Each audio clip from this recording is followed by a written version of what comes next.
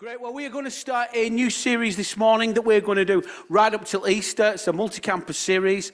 Um, January series was called As for Me from Joshua 24, verse 15, where Joshua stood in front of the people and said, As for me and my house, we will serve the Lord. And uh, we did that series. And that was all about really bringing us back in the new year to a commitment to God. Once you've made the commitment to God, you've got to do something with that. Becoming a Christian isn't just getting, eh, becoming a Christian is isn't just getting saved, getting right with God, and then doing nothing with it. Becoming a Christian is the open door for a journey, a process called discipleship. And uh, our next series title for the next seven weeks is creatively called Discipleship or Disciple. Notice we have put an L plate right in the middle because a disciple is a learner.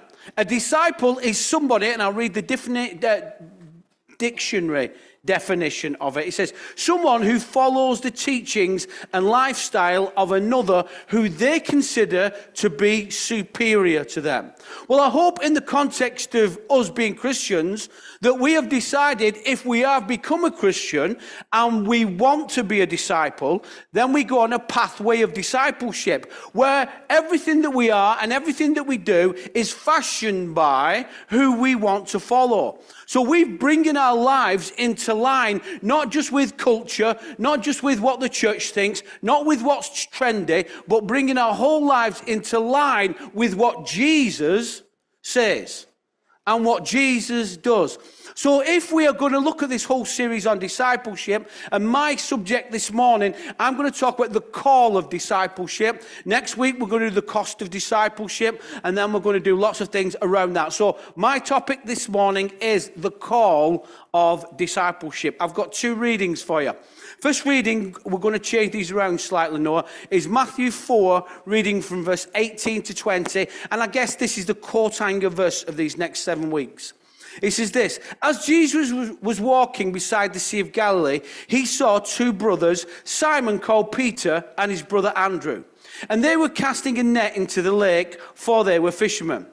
Come, follow me, Jesus said, and I will send you out to fish for people. One version says, I will make you fishers of men. The Bible says in verse 20, at once they left their nets and followed him. Then, jumping a few chapters later, we're going to read from Matthew 16, verse 24 and 25. So, this is what Jesus is now saying to the people he said, Follow me to, and they are followed, who he calls disciples. Then Jesus said to his disciples, Whoever wants to be my disciple must deny themselves and take up their cross and follow me. For whoever wants to save their life will lose it, but whoever loses their life for me will find it. So, this is the introduction to this whole series on the call of discipleship. One day, Jesus, just after he's probably around the age of 30, as he's starting his public ministry, walks past two fishermen. They were mending their nets. So they were by the, the, the, the, sea. They were fishermen. They were just ordinary people. They weren't schooled. They weren't theologians. They weren't members of the Sanhedrin. They weren't big shots. And Jesus said two words that could summarize the whole New Testament in these two words. These two words have caused so much trouble in people's lives. These two words have changed so many people, and those two words that Jesus said to them was, Follow me. Follow me. And then in verse 20, the Bible says, Immediately they put down their nets and followed him.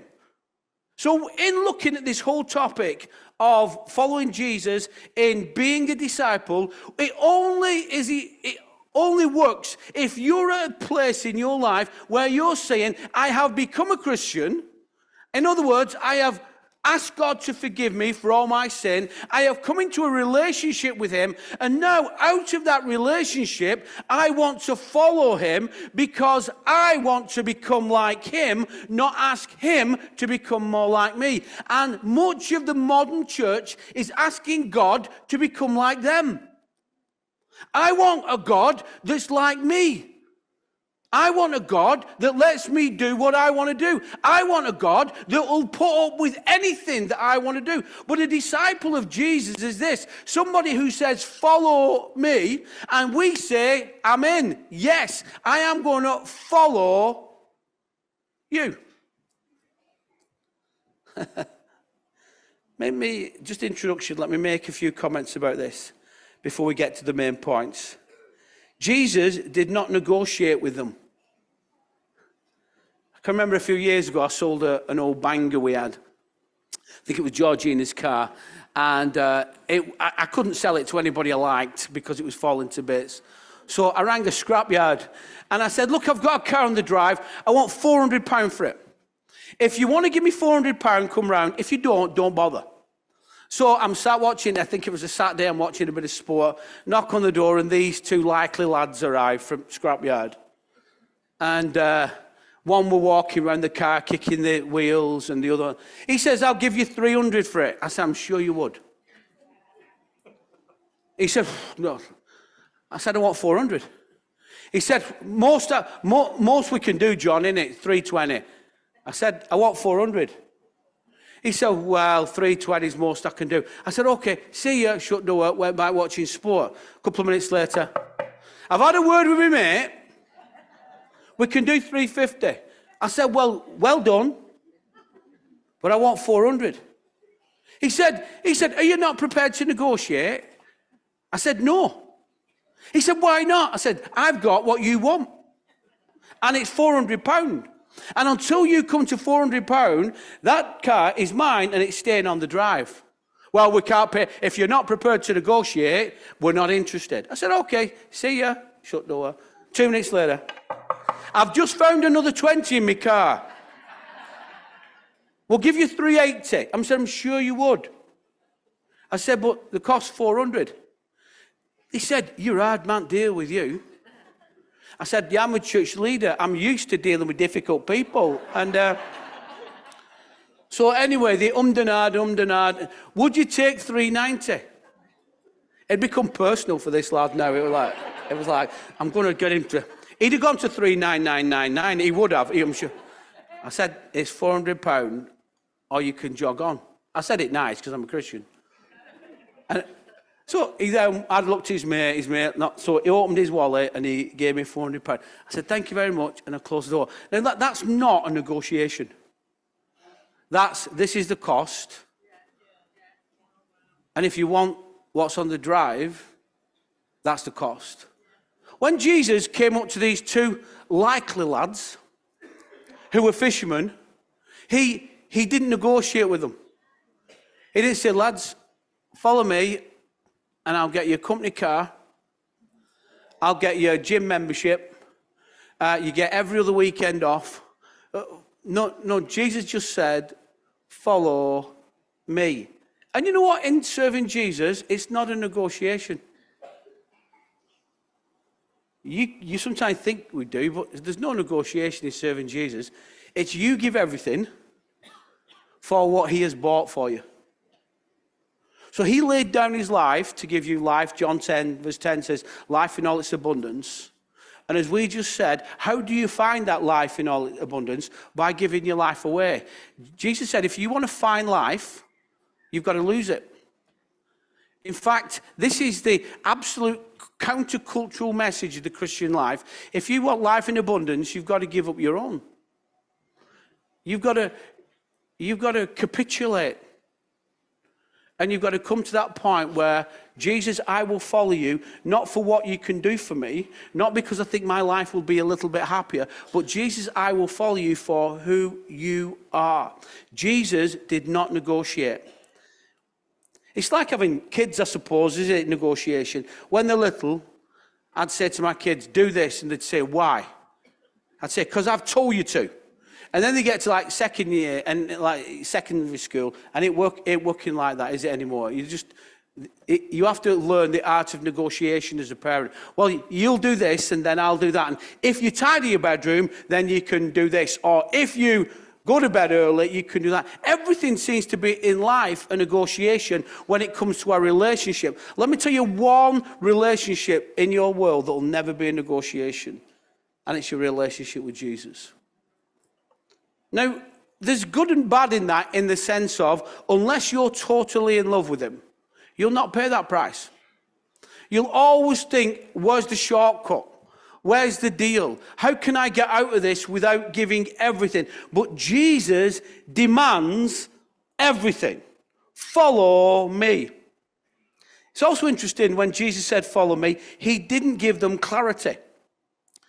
Because I'd have been saying, if somebody, well, when are we back? How much does it cost? What can I tell my mum? Because if I'm going to follow you, Jesus, I, I, need some, I need some terms and conditions.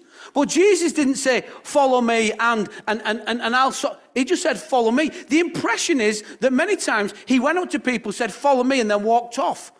And you'd be like, whoa, whoa, hold on, let's discuss this. What do you mean, follow me? What, what do you mean, no? I mean, right now, I mean, I've got nets to repair. I've got a family. I've got, I've got a casserole on at home. What do you mean right now, follow you? You know, one of the massive human needs is certainty. We want to know. Let me tell you about following Jesus.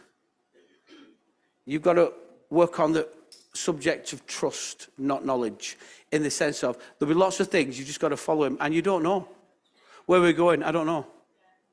How we're getting there, I'm not quite sure. All I know is I am on my way. I'm sure I've read that in the Bible somewhere. So we've got to set off on a journey of following Jesus where there's little clarity. And you know what? I'm glad God doesn't tell us what's coming. Are you? Would you like to know that next week uh, a loved one's going to die, or next week this is going to happen, or next week? I wouldn't. I'm thinking, God, I'm happy that your grace works every day, and I'll just put one foot in front of the other. I, I don't want. I don't want to know what's coming. Why? Because if we knew what was coming, we'd probably get back under duvet, put it over our head. But, but God wants us to live and thrive and grow and breathe and have life and have life in all its fullness. So Jesus did not give them clarity. Jesus did not give them time to settle their affairs. At verse 20, I said, He said, at once, at once they followed him. Let me read something to you from Matthew 8. It says this When Jesus saw the crowd, he gave them orders to cross to the other side of the lake.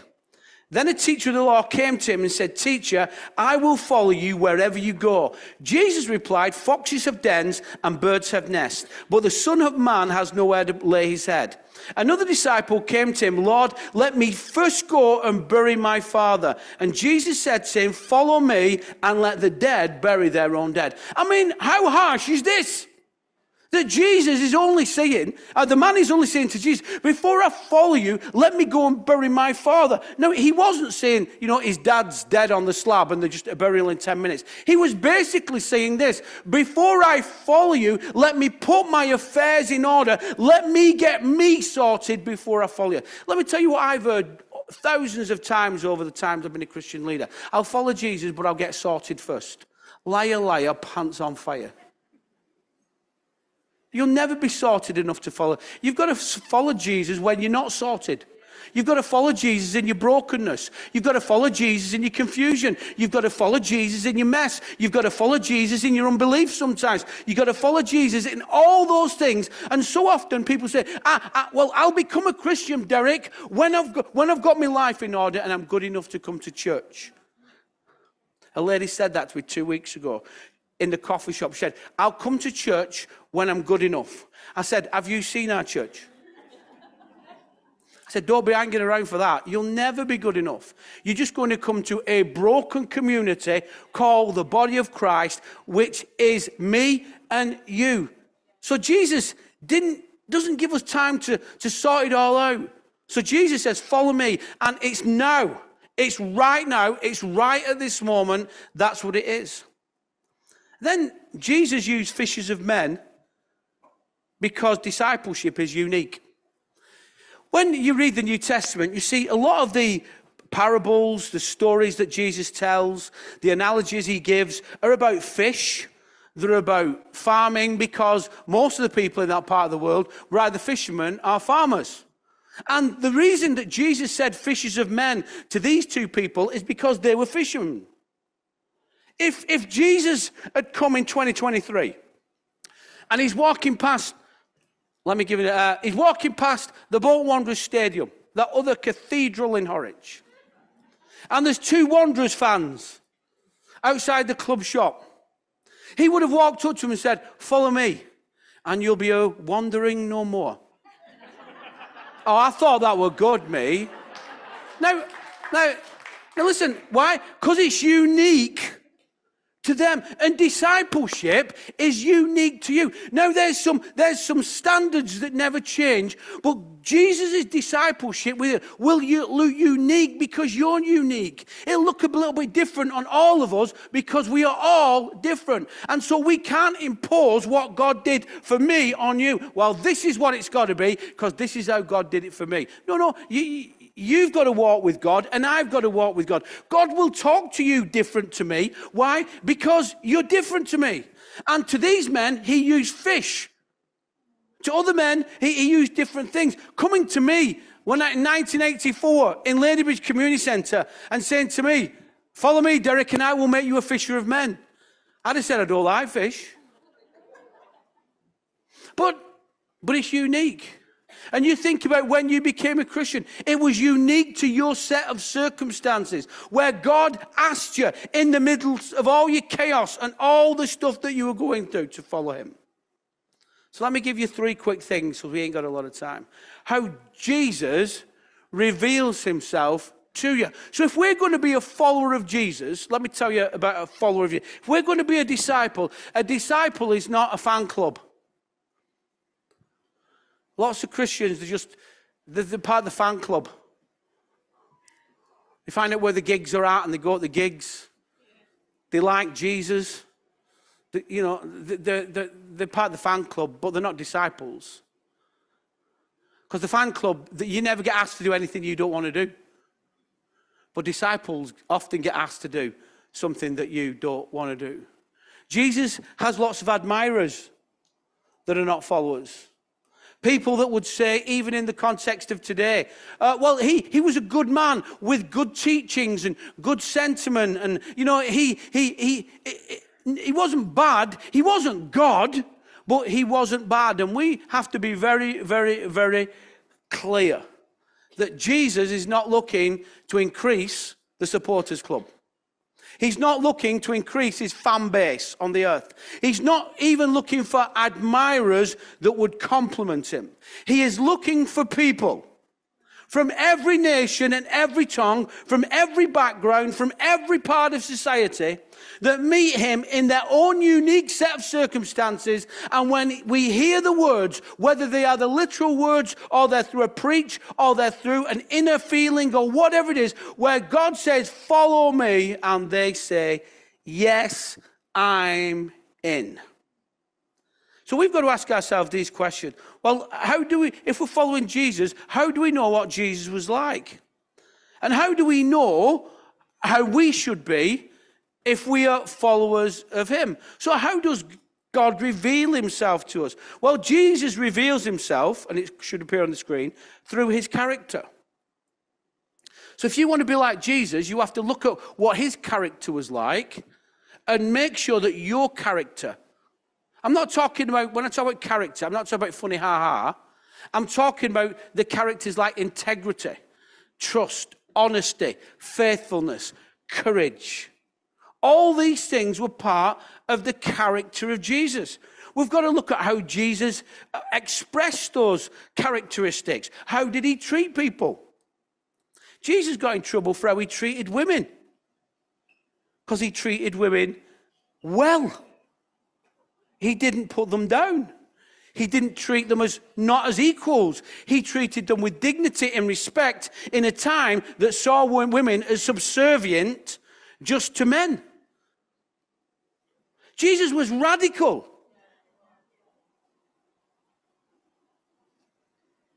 How he treated the rich and the poor. Jesus never said it was a sin to be rich. And neither did he say it was a virtue to be poor. Listen, poor, rich. Jesus said, the poor you always have among you. It's not about poor or rich in this world, it's about our character. You may have no control over your bank balance. You may, not, may have no control over your job opportunities. But let me tell you what you have got control over. Who are you following? And how are you allowing that following of Jesus to shape your character? Jesus didn't out to rich people, and neither did he dismiss poor people. He treated every man, woman with dignity and respect.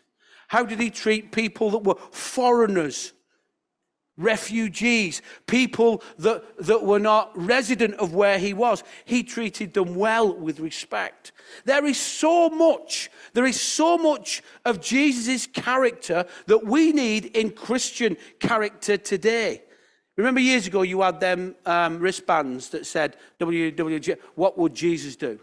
And I know they were a bit twee and a bit cheesy and everything, but let me tell you this that should be more than a wristband. It should be tattooed on your heart. What would Jesus do? And then ask yourself the question if that's what Jesus would do, that's what I should do. Have you ever been at work where there's been gossip or inappropriate joking or stuff that you really know you shouldn't be talking about? And you feel that thing inside you that you know this is where Jesus would say, I'm out. I'm walking away from this. And you know that tension of trying to fit in and yet trying to be different, trying to fit in and trying to be different. Because we don't want to feel like we, we, we, don't fit in. We want to be everybody's friend. We want to be invited to everybody's barbecue and go to everybody's birthday and be everybody's chum. Let me tell you, if you're going to follow Jesus, it will put you at enmity with some people. Some people will hate you because you follow Jesus.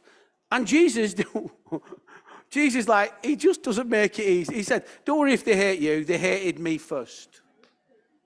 So listen, if they hate you because you follow Jesus and everything, suck it up. It's par for the course. Don't worry. It's probably because as more as more and more of Jesus is seen in you, it almost it almost irritates people. Why are you like that? Because I want you to be like me. Because if you're like me, then I may feel better about me. But you forgive people, and I don't want to forgive people. You're kind to people, and I don't want to be kind to people. You don't tread on people, and I want to tread on people because I want to get to where I want to get to. If you're going to be a follower of Jesus, you have to realize that Jesus has revealed himself through his character. And as you read the Bible, don't read it as stories, read it as character development for yourself. Number two, and it's nuanced from number one. Jesus reveals himself through words and actions. What did Jesus do? I told you a few weeks ago about that sixth form conference I did at Canon Slade, where that guy stood up and said, Mr. Smith, I want you to know I don't believe a word that Jesus said. And I asked him to stand up again and say, Tell us all the things that Jesus said that you don't believe. And he couldn't because he was an idiot. And you know, there are, there, I'm not calling everybody in life, but, but some people have rejected Jesus and don't know what he said. So, what did Jesus say? What were his attitudes, his priorities, his habits, his behavior? Jesus withdrew to a quiet place. Well, that's a great habit, isn't it? To withdraw to a quiet place. That we, you know, we call that a quiet time. I'm not sure how biblical a quiet time is, but withdrawing to have time alone with God is a very biblical thing. Jesus had priorities and his attitudes. How Jesus thought, what he said, when he withdrew, when he said something and when he said nothing. So Jesus reveals himself through his words and his actions.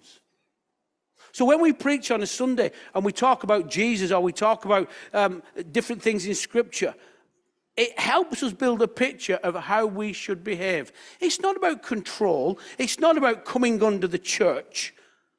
It's about if you choose to come under Jesus. This is totally voluntary surrender. You're not here with your arm up your back. It's voluntary surrender because you said, when Jesus walked past your life and said, Follow me, you said, Yeah. What the church's job is, is to help you understand what that looks like in everyday life. Follow me. Thirdly, and finally, we'll spend a little bit of time on this. Jesus reveals himself through his written word. Now we know, right, a bit of, bit of theology, the Trinity, God the Father, God the Son, God the Holy Spirit. Now Jesus came and lived, part of the Godhead, Father, Son, Holy Spirit. Jesus took on the form of flesh and came to live amongst us for approximately 33 years, to live a life we couldn't live, to die a death we couldn't die, in order to bring us right with God. But I don't want you to think, and some Christians get locked, that somehow Jesus is on the earth and God's out there doing the, and they're not connected. Let me tell you that Jesus wrote the Old Testament. He was there at the beginning because he's God. So in Genesis chapter 1, where the waters, uh, you know, where, where God is hovering above the waters, you know who it was? It was Jesus. You know who revealed himself to Abraham? Jesus. So, so Jesus is not a New Testament phenomenon. And some Christians like to keep Jesus in the New Testament and divorce him from all the bad things. in the, old. that Jesus is really nice, and the Old Testament God is really horrible. Old Testament God is like a school teacher, and Jesus is like your grandma. Get away with murder. No, Jesus is the part of the Godhead. And so Jesus, therefore, wrote the Bible. Now, many scholars in our world today want to say, well, you know, what Jesus said and what the Apostle Paul said, they're two different things. Jesus may not have agreed what the Apostle Paul said. Well, if you believe that the Bible was put together by the hand of God through the hand of men, then you have to acknowledge that Jesus wrote the Bible.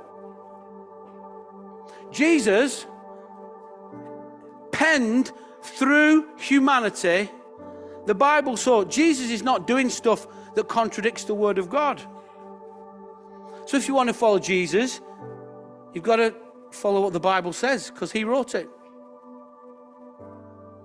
What does the Bible say about money? Well, Jesus wrote that. Give to God what God and give to Caesar what Caesar's. Follow me.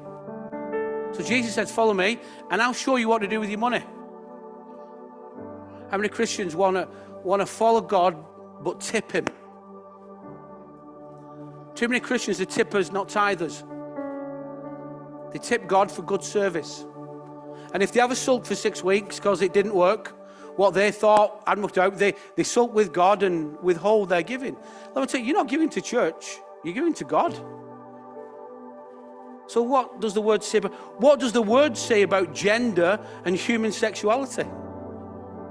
Not what does the culture say, because culture will change. What's in today and what's acceptable today will be different to tomorrow. So we've got to look at what did Jesus say? Because if we're following him, it's not about the subjectivity of how do I feel. I've got to bring everything I am into line with what he said, or I'm not a true follower. I'm just part of the fan club who says, Jesus, we love you, but don't make demands on me. Jesus, I love you, but don't ask me what I do with my money. Don't ask me who I get in bed with. Don't, don't ask any of that, Jesus. That's my business. I'll, I'll be part of the fan club, but I don't want to be a disciple. Why? Because the cost of discipleship is too great. What does the Bible say about forgiveness? What did Jesus say about forgiveness? Well, he gave us a good example, didn't he, on the cross when he said, Father, forgive them for they know not what they do. So if you're a follower of Jesus and you have unforgiveness in your heart and you have not repented of that, you're not a follower of Jesus. You're a follower of your own feelings.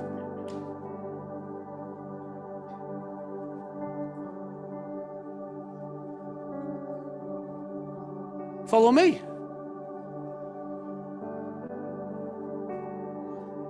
As I've prepped this this week, I've just been overwhelmed not in a service like this, but in my own office upstairs, with how countercultural Jesus is. What a revolutionary he is. How he would never fit in today. And he's still saying 2,000 years later, as he walks past people's lives business people, unemployed people, rich people, poor people, gay people, straight people, whatever. And he says this follow me. Well, I'll follow you. As, no, no, no, no, no, no, no, no. You don't get to negotiate this. Follow me. I'll finish with the story because I want to pray. A few years ago, I had some counselling, um, not for any bad, gross sin, just just for health and well-being, and it's the buzzword, isn't it? And I had some, and um, my counsellor, who I said I'll have counselling, but I want to drive 100 miles from Bolton because I don't want anybody knowing me. Because I, you know, I, I'm, I did not want to sit down and say, "Oh, are you Derek? We've been to Kings." Uh, so I'll have counselling, but I want to drive. So anyway, I'm, I sorted this counselling out with this lovely lady who counsels um, doctors and police officers who have gone through trauma. So, doctors whose patients have died during the operation, and police officers that have visited crime scenes, and pastors, which I don't know why. So, I sat down, really, really uncomfortable, because I'm a Bolton lad, right? We don't do feelings, do we? And we just don't. I'm like, I'm really uncomfortable. And I'm sat in this conservatory, really uncomfortable. And she said this to me. She said, Derek, tell me everything you can remember between being born to being five. I went, oh, here we go. It's how I was potty trained. It's, oh, if we're going to, oh, no. And, and, and like, she said, tell me everything you remember. I said, I can't remember anything really, not to five. She said, you can, you've just stored it.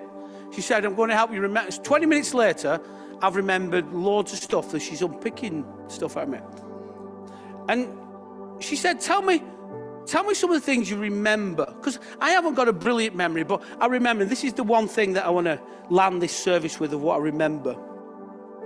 I remember being 11 and being absolutely distraught when all my mates passed their 11 plus and went to Deane Grammar. And I didn't and went to Deane High. And all my mates like kind of going to one school and me going to Deane High, being distraught. And I remember going as a first year, year seven, they call it now, but we were first years in them days. I'm going to Deane, absolutely petrified because my brother, who's five years older than me, had told me all the stories. They flush your head down toilet day one. They, they, they, they, uh, they reenact the crucifixion on the school gates. And I, so I'm absolutely petrified. Like I'm going, I'm going to get because I wasn't, I wasn't very tall. I was a bit snappy, but I wasn't very tall. And um, I can remember, and I don't know why I can remember this because I can't remember any other lesson. I remember my first humanities lesson with Mr. Ashurst. Mr. Ashurst, the world feared him. He was an older gentleman, bald head. He dressed immaculately. And I can always remember he used to come and stand outside his office on the main corridor. I can picture it now. And I remember, all I remember Mr. Ashurst, he always had really polished, shiny shoes and he used to rock like this. And he used to have the voice that I thought, that must be the devil. Smith, walk in my school. And everybody was absolutely petrified of him. And then we got our timetable humanities, Mr. Ashurst. I'm thinking, oh, Lord. So I'm thinking, right, I'm going to sit near the back so we went into the humanities. Humanities, I don't know if they do it anymore, it's like a bit of history, a bit of geography, and a bit of a, few other bits mixed in. And I sat right at the back, Mr. Ashurst's lesson, thinking, I'll keep my head down, I'm only small, I'll hide. And why can I remember this and nothing else about most of my secondary? I can't remember one other lesson. He walked in, and I was 11 years old, and he said this Get your stuff out, We've got our books out. And we also had a shelf full of Good News Bibles. He said, Pass the Bibles round. So we had all these good news. But I remember really thick Bibles, yellow they were. And he said this Anybody in here believe in this nonsense? No, I didn't then. Nobody put their hand up. And then this is what he said. He said this Great, now we've got that codswallop out the way. Now we can get on and learn. So put, let's collect all the Bibles again, put them back in the book cabinet, and then we started learning about this, that, and the other. I wonder why I remembered that, and I can't remember my secondary education. 30 years later, I'm the senior pastoral officer at Harper Green School, and I'm in the staff canteen one day, and uh, I was talking to a few teachers, and a girl sat opposite me. I'd guess 30, but I'm lousy at guessing ages of women, and, and I know you can get it wrong, and wrath can flow. So I just, I, I always go, you look 14, I don't care. I just, this girl opposite me, and we're all chatting, and I said, uh, what's your name? She told me a name. Ah, oh, great, great, great. I said, What school did you go to? She said, I went to this school. She said, What school did you go to? I said, Oh, you'll probably not even know school. I went to Deane High. She said, Did you? My granddad was a teacher at High. I said, What was his name? She said, Stanley. I said, No, what was his? Stanley Ashurst. I said, That's your granddad. She said, Yeah. I said, Is the old beggar alive? She said, Yeah, he lives in Spain. I said, Do you ever speak to him? She said, Yeah, I'm speaking to him tonight. I said, Will you pass a message on for me? She said, Yeah, what, what? John, she's writing it down. I said, Will you tell him that in 1975, he had a little boy in his class who he totally intimidated called Derek Smith. And he asked him a question that did he believe in this nonsense? Can you please tell him from me that I not only believe in that nonsense, but I've given my life to that nonsense. And that nonsense has changed my life. So a week later, I promise to close with this because time has gone. I said, Did you tell him? She said, Yeah. I said, What did he say? She said, You don't want to know. It was probably some tongues or speaking in tongues or something like that. It's amazing, isn't it? Follow me. If you're going to follow me, not me, don't follow me.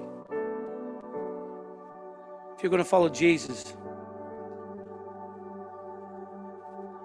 you're going to have some stuff You're going to have to walk through some stuff. Have to walk through other people's ridicule that don't know what you know. You're, gonna, you're not going to get applause. You're not going to get an OBE for following Jesus.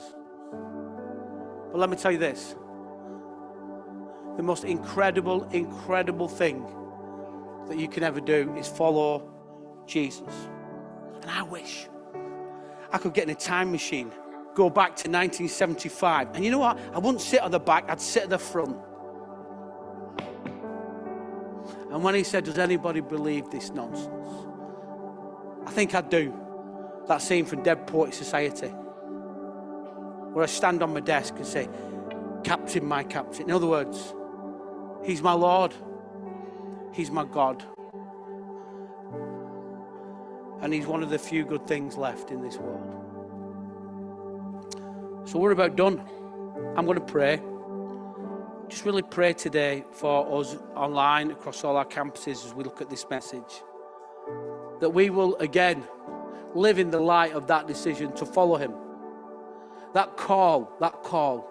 And as I pray right now, maybe you've never come to the point in your life where you've You've followed Jesus. You've said yes. You've done like these two disciples did that. They left their nets. You're trying to work it out. Well, I, I want to follow Jesus, but I, I, I, need to do this first. No, no, no, no. You'll never get there. You'll, it only works when you just do it. So I'm going to pray right now. Close your eyes.